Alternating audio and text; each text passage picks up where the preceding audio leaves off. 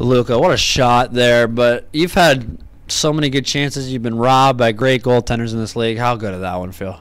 Yeah, no, uh, good flash screen by uh, Dylan Robbins for sure. That was great. It looked like he was blocking it, but just tried to put it on net, got through, and I was really happy to get that one. What do you think the most favorite part about playing for the Steel would have to be so far this year?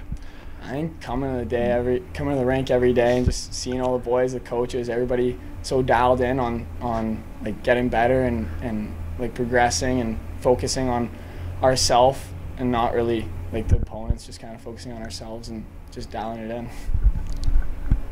A couple defensemen now are jumping up the scoring list, yourself included. What do you think of the defensive play as a whole this season? Yeah, I think well tonight we only let in one goal, so I, I mean so, far I think we've been pretty dialed in defensively. We try to defense first is the is our defenseman, so we try to lock in on D, and then if the offense opens up, then we jump in and create because we got a bunch of really solid D on our team. So yeah. Luca, what's one thing that you're working on right now in your game individually?